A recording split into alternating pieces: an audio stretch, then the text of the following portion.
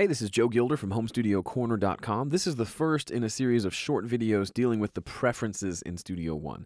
I know that's not super exciting, but it is helpful. Guarantee this you'll learn something you didn't know uh, that'll help you be more effective and faster at working in Studio One.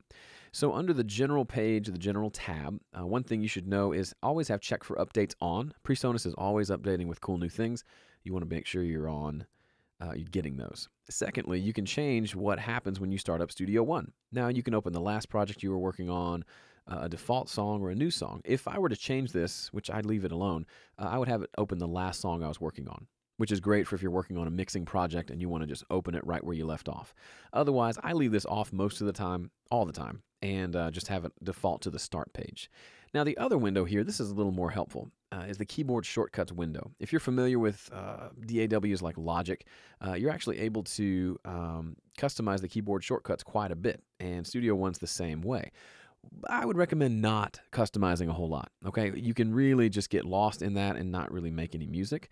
I would recommend coming over here and making sure that you have Studio One selected. Now, if you're just migrating over from Pro Tools and you don't know your the first thing about working in Studio One, you can select the Pro Tools keyboard mapping scheme, which essentially all the a lot of the familiar keyboard shortcuts that you're used to from Pro Tools will now be mapped in Studio One. So Command Spacebar will be record, and uh, T and R will be zoom in and zoom out, the stuff you're used to. Uh, they won't map out 100% because Studio One is different, uh, but you will have some familiar keyboard shortcuts that might help you at least get to know Studio One a little better. But I would recommend switching back to uh, the actual Studio One settings as soon as possible uh, because uh, for one thing, it's you'll you'll better learn the way Studio Studio One was designed to work, and secondly, when you watch these videos, I'm going to be using the Studio One shortcuts, and it'll be easier to follow along if you're using them as well. Now, one example of how to change a shortcut. There's this one little. I wish they'd change it, but they haven't yet. To record, to start recording in Studio One, the keyboard shortcut is the asterisk on the number pad. Well, if I'm using my laptop, I don't have that button. It's not on there.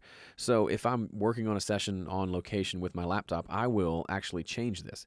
So instead of number pad, we can double click on it, get rid of that, and then we can just type whatever key we want. Let's say we thought we wanted it to be R. Mm, it says that's already a shortcut. We'll have to turn that one off if we don't if we want it to be R.